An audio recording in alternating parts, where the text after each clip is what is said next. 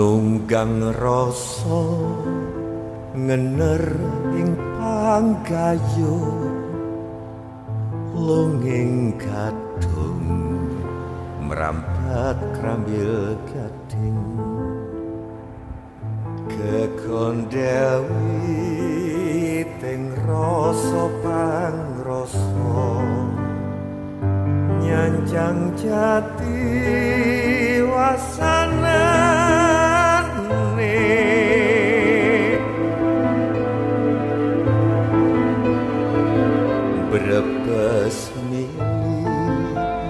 banyu saking langit tipeng ketung lumembak ing panggung. Hanut nyemplung lelakon ngeri cuma plong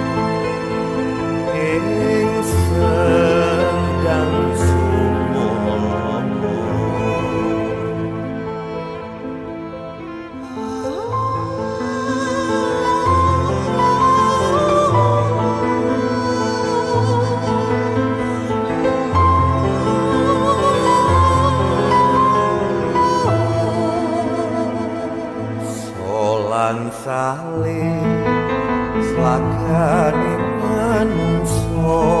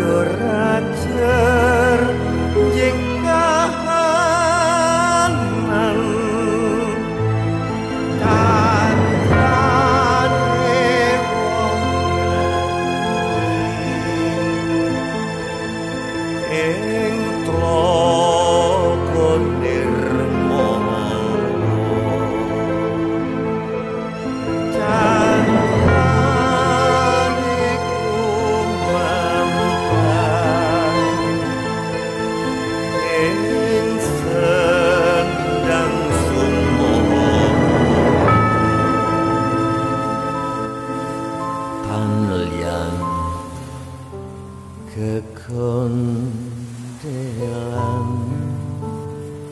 tarlen mung wit krambil ketemu